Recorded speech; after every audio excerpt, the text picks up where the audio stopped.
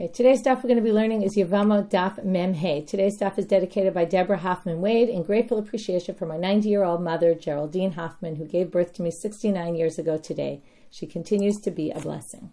Mazal Tov. Okay, we're going to get started with um, a very interesting daf, very relevant. We're going to talk about first the main issue is going to be a child born from a relationship between a Gentile or an Eved Knani, a Canaanite slave, and a Jew, a Jewish woman. The child is Jewish because the mother's Jewish. The question is, is the child considered a mamzer? Number one. If it's not a mamzer, is that child permitted to marry a Kohen or not? Okay, so the main sugi is going to really revolve around is it a mamzer or not? It's going to be a lot less discussion and it's going to be left very unclear can that child marry a Kohen or not? Okay, which is very, very relevant nowadays, happens very often. Um, I believe we talked about this before as well.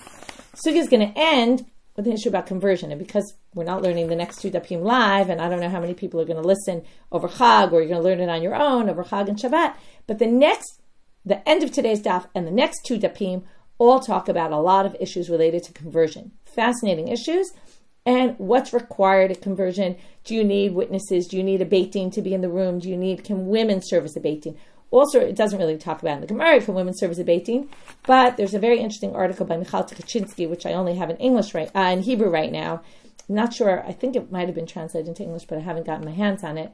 But it appears in Hebrew on our site about whether women can function as a din to view a conversion. Okay, normally when a convert goes to the mikveh, so there's three dayanim that are there. There's all sorts of ways they do it with, with women, but there's a big question nowadays: Can we find room for women? There's also two articles published by. Um, in two different places that I also on, on Daf Mem Zayin. I'm just letting you know in advance in case you don't go on the site for that page. On Daf Mem Zayin, I put links to three articles. Okay, number one, um, the article by Michal Tukachinsky, which is in Hebrew, but two other articles in English that basically take apart the sugyot and talk about the possible contradictions between the sugyot that appear at the end of today's daf, tomorrow's daf, and the daf after, which are all these fascinating sugyot about converts and what's required at the conversion, etc. So recommended reading for sure if you want to print them out before Shabbat, uh, before Chag. So they're definitely, they're all, the links are there on page 47. So with that, we're going to get started. Amar Rabba Barbachana, we're starting at the bottom of Memdalet Amubet. Amar Rabba Barbachana, Amar Rabbi Yochanan, Hakol, right? I, I, feel like if, you know, we thought these issues of chalitza and two wives, you know, chalitza is relevant today, but two wives for sure is not really relevant today and all the erva stuff. But these sugyot are, are super, super relevant and, uh, and, and go on nowadays, issues that the courts are dealing with a lot.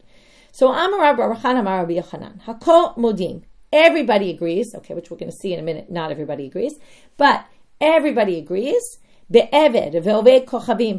Yisrael. If you have a relationship between a Gentile uh, or a slave, a Canaanite slave, and a Jewish woman, shavlad mamzer. The offspring is a mamzer.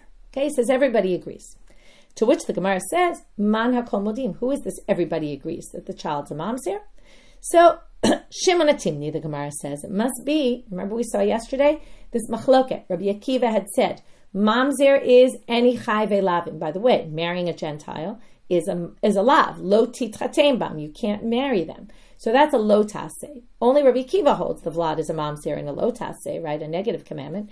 It was Rabbi Shimon, uh, Atimni said, the vlad's not a mamzer, right? It's only mamzer when it's chayve kritut. So now we're going to say, so what is Hakol Modim? Well, even Shimon Atimni, Afagav Amar Shimon Atimni, Ein Mamzer Mechayv Elavim, even though generally he holds an Isur Lotase doesn't create a Mamzer, Hanimile Mechayv Elavim de Tafsibu Kiddushin. See this later.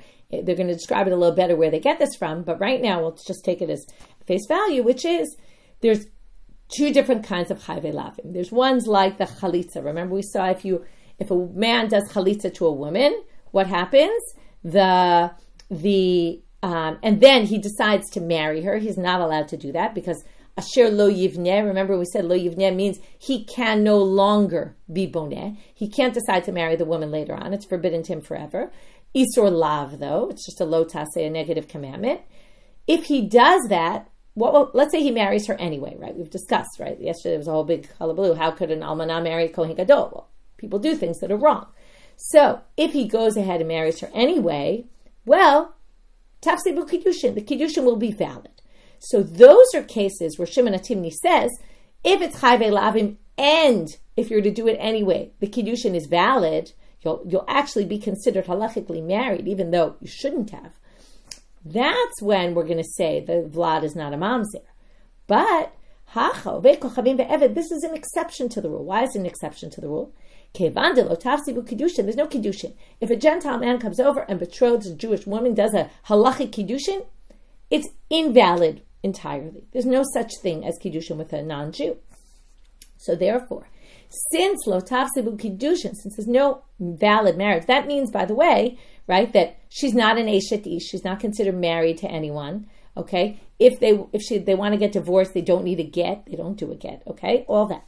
So since that's the case, it's like kichayve kritut dami. It's like chayve kritut, and therefore Shimon Atimni will say, right, all other cases of chayve labim kiddushin are tofsim, and that's why we're going to rule the vlad not a mamzer because it's a valid marriage.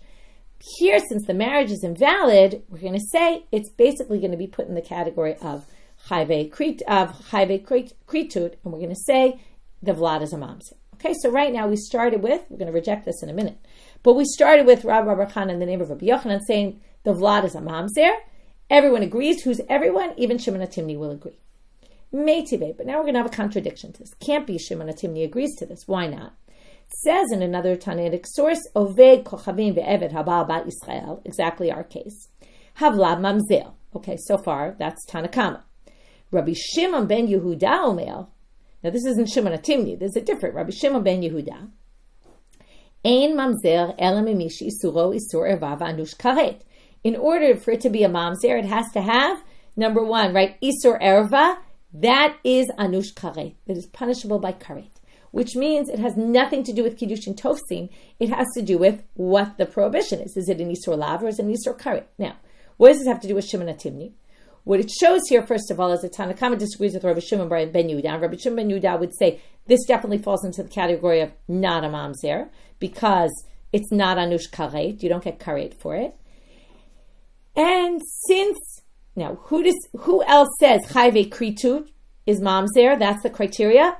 That's Shimon Atimni. So Rabbi Shimon ben Yehuda must be going in the way of Shimon Atimni. So therefore, it can't be that Shimon Atimni would say that the Vlad is a mamzer. Okay, so they're basically connecting these two opinions because they're saying he obviously, right, the Tanakama held like Rabbi Akiva. This opinion seems to go against it and go with Shimon Atimni's general position, which is until now the only thing we've seen about Shimon Atimni is Chiyuv Karet. We didn't see this Kiddushin Tofsim, we suggested it, but this seems to indicate definitely not. So therefore, Ella Amar Rav Yosef. Man Hakol Modim. Who is this? Everybody agrees. Rebbe. It's Rabbi Yehuda Hanasi. Okay? Now, how do we know this? Well, first we're going to see that Rabbi Yehuda Hanasi sides against Rabbi Akiva, which is going to say, but Dafka on this issue with the Gentile and the Eved and the slave, we're going to say that he agrees with him. Okay? And that's going to fit perfectly with this Hakol Modim. Everyone agrees, though, right? Even though they disagree about most things, they agree about something. And now we're going to see it's Rabbi Yehuda Nasi. So now, where do we see he holds against Rabbi Akiva? In the in Daf Nun, talks about a different case. Af agav de Omer, ein hadvarim halalu amurim ela ledivrei Rabbi Akiva shaya oseh chalutza ke'erva lo Okay, here he says it explicitly. I'm not going to get into the details. We're going to see this all on Daf Nun. Okay, we're going to see it in a few days. It's not worth going into it right now. Also, time wise, Erev Chag. So we'll just kind of gloss over this quickly. But the point is, you'll see it in a few days. But the point is, he says, even though, right? He says all these things we're discussing are all according to Rabbi Akiva. We don't hold that way. So there, it's clear he doesn't hold by Rabbi Akiva, and they're talking here about the Chayve Lavim issue, right? And the Vlad's not going to be a mamzer. So even though he says that, okay, that's one thing Rebbe says, which now proves that if that's what he says, right? He obviously doesn't agree with Rabbi Akiva in general, but but be'oved kochavim ve'eved modeh. But he does agree when it comes to oved kochavim and an eved, he agrees that the vlad is a mamzer. Now, how do we know this? That again, you have to prove two things. Number one, he doesn't hold like Rabbi in general, but he does on this issue, and then that would fit into the sentence, which is all we're trying to do right now. When Rabbi Yochanan said Hakol Modim, all agree, it would have to be someone who disagrees with Rabbi Akiva in general, but agrees with him about this. How does he know he agrees? Techiyata Rav Dimi, Amar Rav Yitzchak Bar Rav Dimi, Mishum Rabbeinu. Rabbeinu is Rabbi Yehuda. So now, let's get this straight. Rav Dimi, he's one of the people called the Nechute. They're the people who would go down from Eretz Israel to Babel. They would travel from Israel to Babylonia and bring the Torah of Israel. Remember, Rabbi Yehuda Nasi lived in Israel. So they would bring it to the people in Babylonia. So he comes, now it's very important to know this, because soon we're going to see Ravin brings a different tradition. He's another Nechuti. In the same time period, he brings a different tradition of Rebbe. But right now we're going with this tradition of Rebbe. He says in the name of Rabbi Yisrael Ravdini, who says in the name of Rebbe, again, who's Rabbi Yehuda Hanasi. He's the one who the Mishnah is attributed to, that he put it together. Perfect. That's what we were looking for. Who's this Hakol Modim? It's Rebbe, who we already proved doesn't agree with Rabbi Akiva in general, but does agree on this issue, and that would fit in perfectly with Rabbi Yochanan. So now we're going to say Hakol Modim is Rabbi Yehuda Nasi. So that works perfectly with Rav Dimi's reading. Later, we're going to see that Ravin has a different tradition about Rebbe, and therefore, right, has, has a different issue. And yes, we're talking here about a non-Jew as a male. That's clear. Okay, we're talking about a non-Jewish male with a Jewish female, because if it's not a Jewish female, it's not a Jewish child at all. Okay, then forget about mamzer, right? It's not Jewish. Okay, that's different. Rabbi Achasar Habira, Rabbi Tanchel Bered, Rabbi Chia Ish Parako. We're going to see today a lot of real life cases, because obviously this did happen. So, these two people from, right, one of them from Akko, Pruk Hanush Fuyata Da'atu Be'armona Tveria. They redeemed a bunch of capt- captives, okay, a bunch of them were female captives, that came from Armon to Tveria. You can look in the Koren if you have it. There's a whole debate about what these places were. There's different Girsaot because Armon could be Armenia, but it's nowhere near Tveria. Some people say it's Antiochia. There's a different version. Okay, where these places are, where they redeem them from where to where is a whole question. Not really important for our purposes, but interesting in and of itself. In any case, they redeem these captives. Now, what's the problem? The problem is that often when women were taken into captivity, they were raped by different men there. So now, there was one woman there that was pregnant with a non-Jewish, from a non-Jewish father. So they came before Rabbi Ami to figure out what's the status of this child. Amar Lahu, he says to them, look, he starts listing Rabbi Yochanan, who we saw already, the Rabbi Elazar, the Rabbi Chanina. So I've got three on my list. Da'amre Abba Israel Mamzer. He basically lists these three big rabbis that all say the child's a mamzer, so he wants to rule that the child's a mamzer. Amar Yosef, Rivuta gavre. What you think you're going to pass in that way because you have a long list of rabbis? You say, oh, three rabbis, that's already a lot, and he, you know, that's my proof. So what's interesting about Rav Yosef is he's not going to disagree with his psak. He's going to disagree with the way he arrived at it. He said, "You're giving me a list of three. I'll give you a list of four, and not only ones who lived in Israel, but I'll give you ones who lived in Babylonia and ones who lived in Israel. Two there, two there, and I'm going to show you that if you're going to play the numbers game, I can play the numbers game better and come to the opposite conclusion. And now we're finally starting to see the other side." Okay, until now we really only saw that the Vlad's a mamzer. So now we're going to see, right? I mean, we did see the Rabbi Shimon Atimni probably thinks that the Vlad is not a mamzer, but we didn't really discuss that so much. Now we're going to see a list of rabbis who held that way. Ha Rabu Shmuel Babel. Wow, they're of the great ones, right? The biggest Babylonian scholars were of the biggest. So they both held, and Rabbi Yoshua ben Levi Bar Kapara Be'eretz Israel, okay, and two very big scholars on in Israel. Some people say take Bar Kapara out. What he really said was Rabbi Shua ben Levi and all the Zkanim in the south, okay, all the elders, which makes it even more than four, because uh, a group of people, Amre, that they all say, they all say the Vlad is totally kasher. Now again, we talked before about kasher. Does kasher mean kasher entirely can marry anybody, or does kasher mean they're not a mamzer, but maybe they can't marry a kohen? We're going to have to get into that, but right now that's not clear. The point is they say child's not a mamzer. So he basically says, if you're going to play the numbers game, I can play the numbers game better than you and come to the opposite conclusion. So Elam Rav Yosef, but Rav Yosef said, but I'll tell you why you should paskin that the Vlad is a mamzer, because Rebbe he, because it's Rebbe's opinion. And Rebbe, right, it's not quantity, it's quality. Rebbe is above and beyond all of the rest, and therefore, since Rebbe says it, how do we know Rebbe said it? Well, he's going to quote exactly what we quoted before. Chiata Rav Dimi Amar Rav Yitzchak Rav Dumi. Mishum Rabbeinu Amru, in the name of, of Rabbi Yudan Nasi, they say, said, Ove Kochavim Be'eved Abba Israel Havlab Mamzer. Okay, so he basically says, For that reason, you can hold, but not because Rabbi Yochanan, Rabbi Chanina, Rabbi Elazar. I can bring you a stronger list on the other side. Rabbi Yeshua ben Levi Omer. Now we're going to talk about for a little bit what about the status of the child regarding a kohen. So he says Havlad Mikul Kal. Okay, there's mamzer, kasher, and in the middle there's Mikul Kal, messed up literally. Okay, or however you would call it. So liman, for what is it Mikul Kal? So If you're going to say Mikul Kal means he can't marry anyone in the regular community because he's treated like a mamzer, Hama Rabbi Yeshua, Vlad Kasher. Rabbi Yeshua already said, right, that the Vlad is Kasher. So Ella, and as Rabbi Yeshua ben Levi, he himself was on that list of people who said the Vlad's not a mamzer. So it can't be that. Ella lekuhuna. It must be lekihuna. Lekihuna.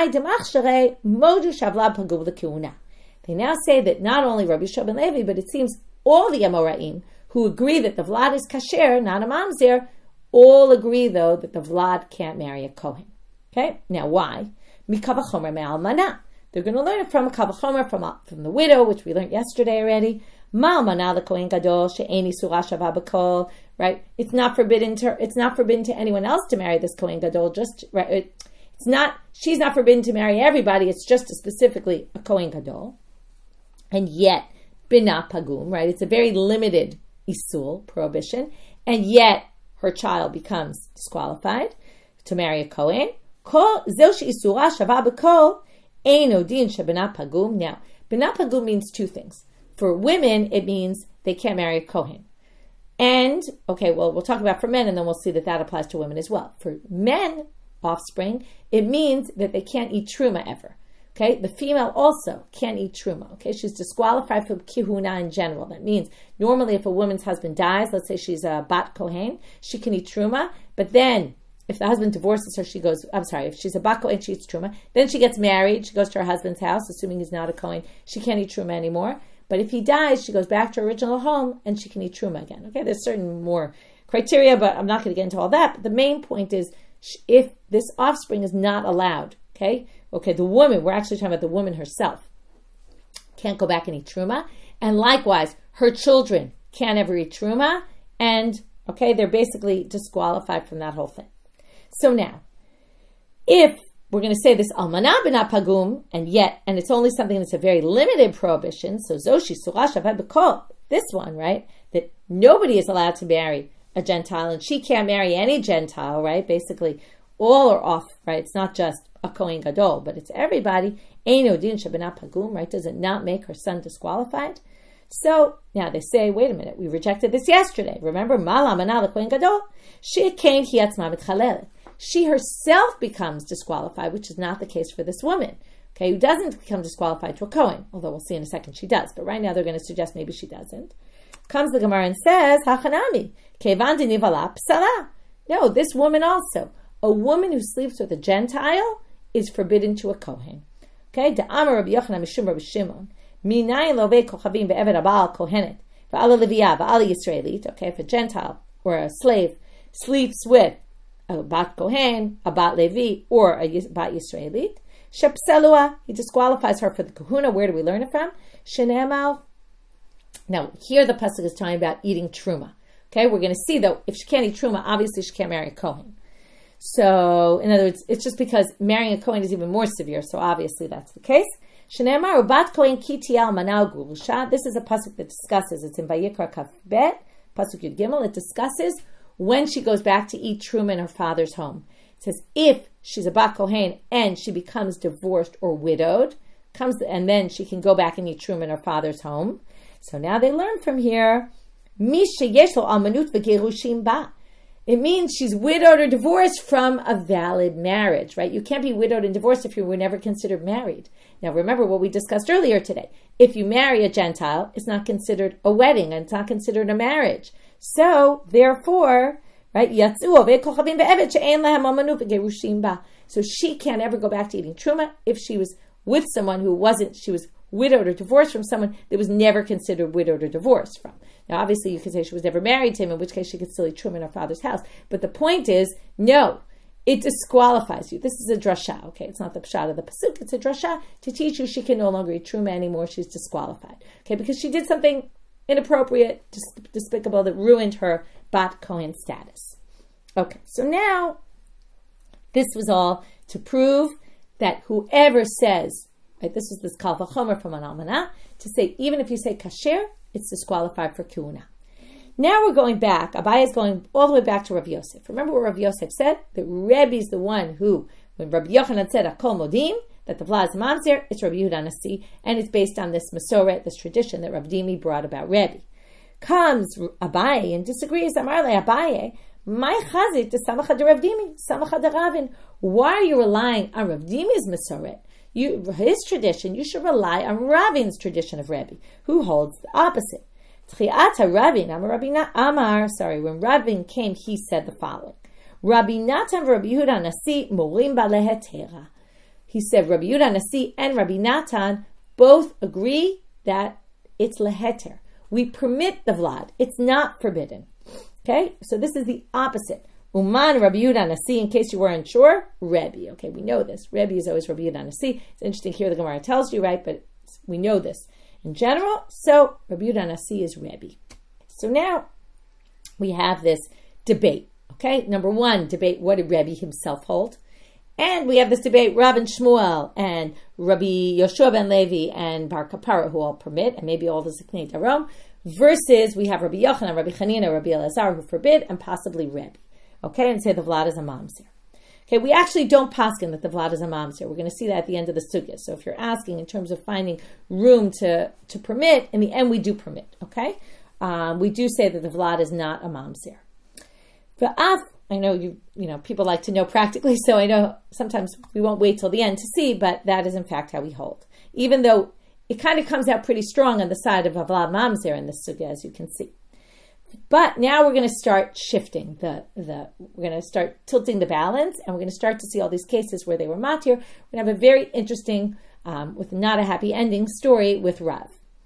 Af Rav more Rav also permitted Vlad is not a mamzer. Dahu da'ata Rav. How do we know this? Because there was a guy who was born from a union like this. So he wanted to know his status. He goes to Rav and he says, Can I get married? Right? Or can I only marry a mamzeret or someone like me? Amar le, he said to him, No, oved kochavim be'eved ababa Israel mahu. Sorry, that was the question he asked Rav. Amar le, havlad kasher. He said, It's totally fine. So the guy says to him, Amar le, havli baratach okay, so I want to marry your daughter.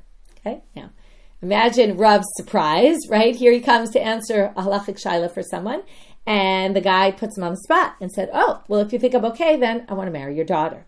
Okay, you have to like get in the mindset of the shidduch world in those days, right? And and and what it meant. I mean, you have to think about Rav, this big Talmud Chacham. His son's going to marry. You might say it's okay, but he's going to marry, sorry, his daughter off to the the you know a guy who's born from you know problematic lineage. I mean, yes, it's true that we treat him as a Jew and he can marry anyone, but see why Rav might not necessarily want to. The thing is, in this story, we never really see what Rav's motivation is.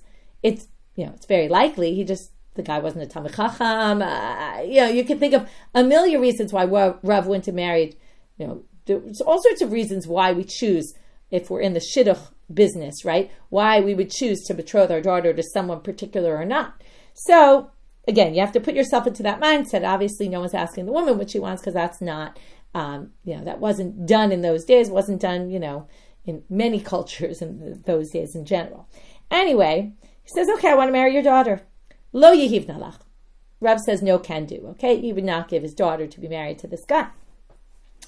Amar Shimi Barchia Rav. Rav's going to get criticized now. Shimi Barchia comes over to him and says, Amar Inashe, people are going to say, great line, Gamla b'madai akabarakta. A camel in Medes, okay, or however you, Medes media, um, camel in Medes dances in a kav. Okay, what's a kav, right? Some people call it media. Okay, um, dances in a kav. Now, what does this mean? Nobody really knows. It could just mean that. Um, it, oh, thank you for pointing that out. I forgot that. That Shimi was his grandson, right? Chia, Shimi Bar Chia? No, he was his grandson. He, oh, Chia was the son of Rav. Interesting. Okay, I didn't catch that. Um, so now, what happens here? He says, people are going to say that a camel in Medes dances in a kav. Now, what does this mean? Some people just mean it doesn't mean dance, it means stands in an area that's used for a kav of wheat, which is a very small area. In other words, some ridiculous thing, by the way, in the Koren they say that the Steinsaltz that the the using this this Madai as their example was a way of saying some faraway place that no one ever went to. You know, people always say stories about, oh, in that place, you know, they do this and that.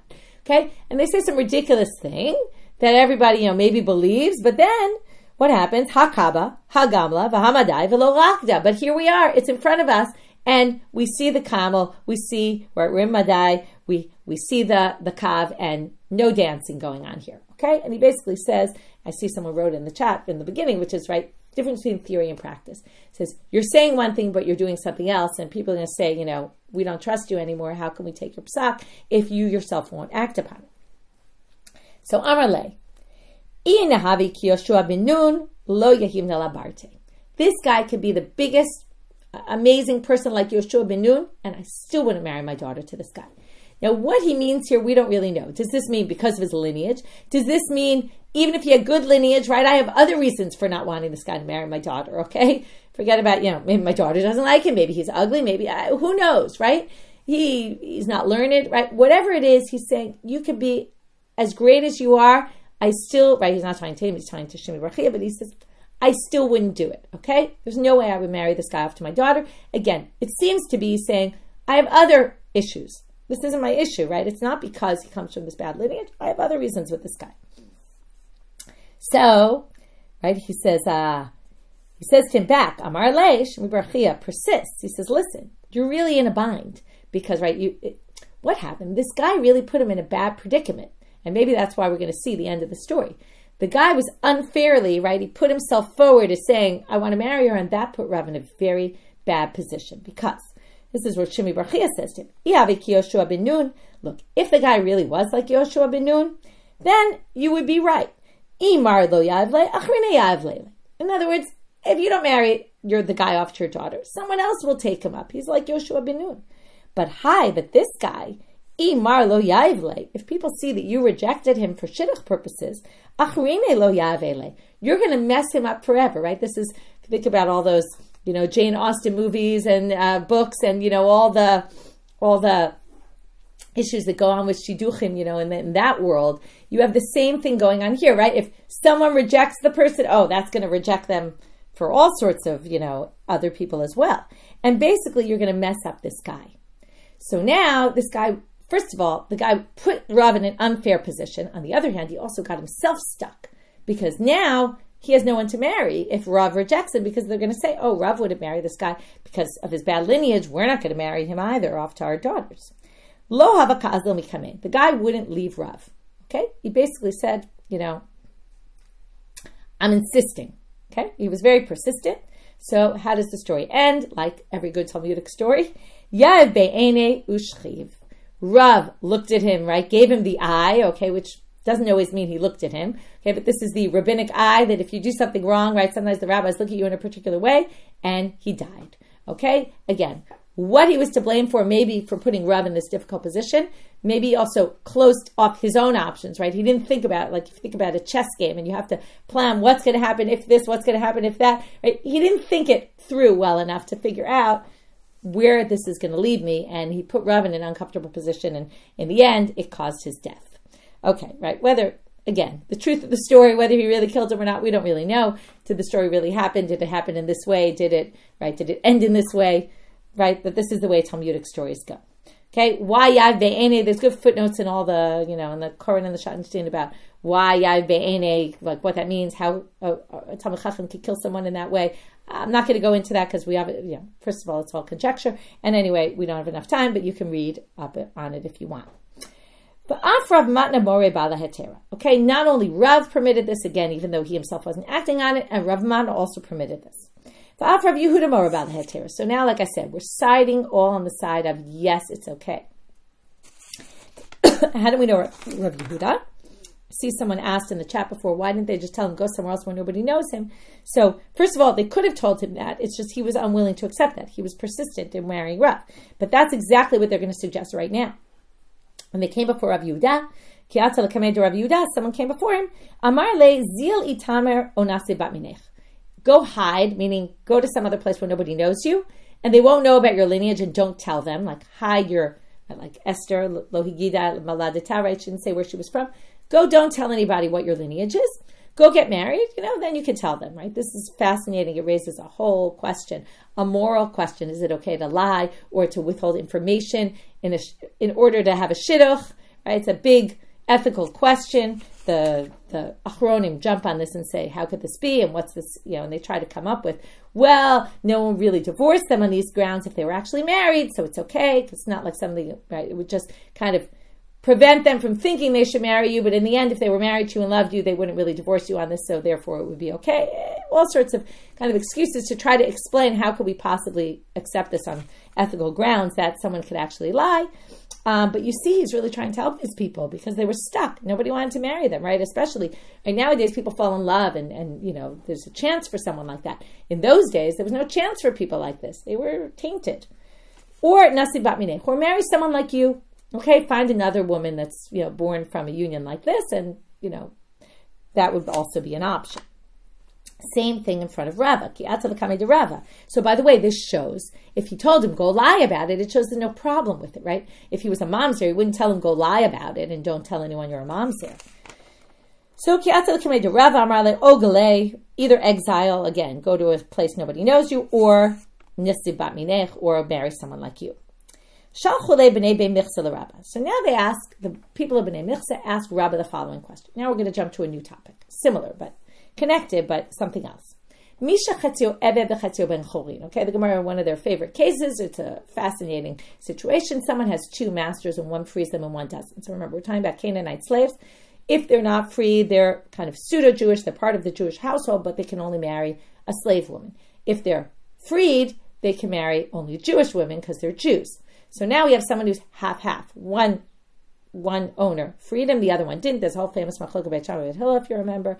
And they say in the end, right, you have to force the other one to free him because it's not fair to leave him in this in between situation. But let's say he is in that in between situation, and he has a child with a Jewish woman. Haba ba Israel mahu. What's the status of the child? So Amar Lahu, Rabbi says to them, what, what kind of a question is this? Hashta eved kulo amrinan kasher chetzio If a regular slave is going to be permitted, as we saw these rabbis permitted, that the child of that union is per- permitted. So now that we have a guy who's half Jewish and half slave, of course we're going to permit his child, right? He's in a better situation because he's half Jewish at least, as opposed to the Evid who was fully not Jewish. So Rav Yosef, Riva says, what are you talking about? I have a contradiction in what you're saying, moving out on the bet. Mara Dishmata Manu, Rabbi Yehuda. Who's the one who permits it? That they're basically saying, you know, those who permit. Well, Rabbi Yehuda is among them, right? He was one of the people that we saw permitted this. So when you say they permitted a regular slave and therefore they should definitely permit this half slave, well, Hamar Rabbi Yehuda, if you're going to assume that goes by Rabbi, Rabbi Yehuda, who permits the child of a, of a union of an Eved, but Rabbi Yehuda himself said, Mishchatzu Eved, v'chatzu ben chomri, this case exactly. Haba bat Yisrael, otovlad ein lo takana. The child has no way to resolve his situation, his predicament. Meaning, basically, okay, now, commentaries actually disagree what exactly this means, because it doesn't say the Vlad is a mamzer, but Rashi holds the Vlad is a mamzer. Okay? Ein lo takana, meaning can't marry anyone other than a mamzeret. So, if you're going to say it's so obvious that if an Eved, the child is not a mamzer, right, according to Rav Yudah, let's say, and then a Chetzio Eved for sure would it be because he's already got a half Jewish side, well, Rav Yudah himself rules in this case that it's a problem. So, how can we explain this contradiction in Rav Yehuda? So the first, we're going to have one answer and then we're going to reject it and give a different answer. Ki itmar de Rav Yehuda, de ba Israel. This is a fascinating theoretical thing, or I, I, don't know how you say it, but here what we have is he's actually sleeping with an Eshet Ish. Why is he sleeping with an Eshet Ish? And knows what is what's the reason it's a mamzer? Because it's an Evet Knani who's having a relationship with a married woman. Why is she married? Well, he says the case must be that he didn't just sleep with her, but he married her. So we took this half, right? He's half Jewish, half not Jewish.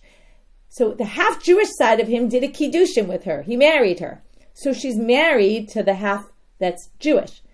The other side of him is not married to her because a Gentile, right, a slave can't marry a Jewish woman. He's now sleeping with an Eshet Ish of someone who's married to his other half. It's a bit of a, it sounds like a split personality kind of thing. Okay, so exactly. So, so basically, it's a very odd thing, and in general, in any case, the Gemara is going to reject this.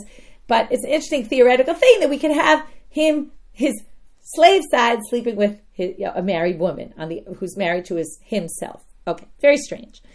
So they reject this not because it's so strange, but they say it, there's actually no halachic basis to what you're saying. Because ha'amri nahardia, nahardia, they say mishmei Rabbi Yaakov, l'divrei haposel, posel afilu b'pnuya. L'divrei hamachshir, machshir afilu be'eshetish. This whole thing about an eved, there's no laws of an eved sleeping with a married woman. In other words, if an eved sleeps with a woman who's Jewish, the Vlad, on some people say the Vlad's a mamzer. Some people say the Vlad is not a mamzer.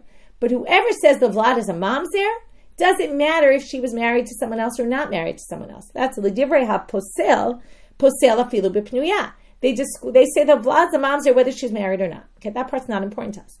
We want to know the divrei ha The one who permits it and says the Vlad's not a mamzer, afilu be'eshet ish. Says the Vlad's not a mamzer, even if she's a married woman. Normally, a man sleeps with a married woman, the Vlad's a mamzer. That was the whole answer here. The Eved slept with the w- woman who's married to his other side. But the one who permits, like Rav Yehuda and all the others, would per- permit, according to Naharda, they permit even married women. In other words, not that they permit it, they just say the Vlad is not a mamzer. Because regarding the, the Eved, right, there's no such thing as a relationship with an Eshet Ish. It's, it's forbidden. It's a low He can't marry any Jewish woman. He can't have a relationship with her. But that's it doesn't matter if she's married or not married. So however you view this, if you're going to say the child's kasher, it's going to be kasher even if she's married. Ushneim, now, now we could have just stopped, but already we're getting to this, and I said we get to this later, which is shneim lo lamdua elamei They're both darshan from the same place, they just darshan it in different ways. There's a pasuk in Dvarim Kaf Gimel Pasuk Aleph that talks about marrying your father's wife. Okay, let's say your father dies, you can't marry the woman he was married to. And the next pasuk says you can't marry a mamzer. Okay, so now, right, mamzer lo yavo Hashem. Can't be married into the community. From there, they learn that someone who marries their father's wife is a mamzer. The child is a mamzer. Okay, from the smichut, from the connection of the two psukim. So now they're going to say, well, we're going to learn this all out from Eshet Av. Manda pasil, the one who disqualifies saval. Ma eshet av delo tafsibu kiddushin havlab mamzel. Av kol delo tafsibu kiddushin havlab mamzel. This is where we get what we suggest at the top of the the Amud Aleph, which is it all depends if kiddushin or tofsim or not. In the case of a man marries his father's wife, there's no kiddushin there, right? If you were to marry her anyway, it wouldn't be a valid marriage. You wouldn't need a get, right? You wouldn't be considered married. She wouldn't be an eshet ish. So, likewise, right? In this case, lo tafsibu kiddushin, if an Eved marries a Jewish woman or a Gentile marries a Jewish woman, there's no kiddushin. So therefore, the vlad is mamzer. This is just getting at again, not this issue of the one who was machshir, even even eshet ish. That's not what they're talking about here. They're just talking about is the vlad a mamzer or is it not? Mant machshir, the one who says the vlad is not a mamzer. This is really the reason for the homachloket in today's stuff. Ma'ishet avdil lo tafsibu kiddushin tachrine lachrine tafsibu kiddushin. Eshet is unique in the fact that you, you're the son, marries your father's wife, there's no kiddushin. But if Joe Schmo marries your father's wife, there is valid kiddushin.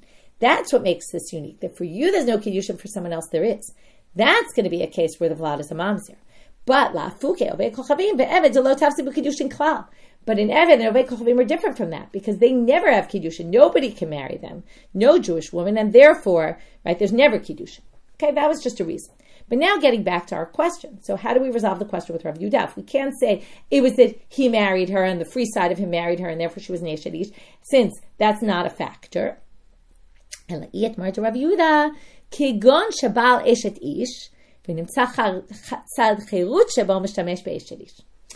What are we talking about? It's not that he betrothed her. it's that she was already a married woman. We're talking about a case where he slept with a married woman. Now, since he's half Jewish, the half Jewish side of him, the free side, actually slept with a married woman, and that's why the Vlad is mamzer. So you'd have to. This is again what we call an ukimte. It was a unique case, right? The first was an ukimte saying he betrothed her. Now we're saying she was betrothed to someone else.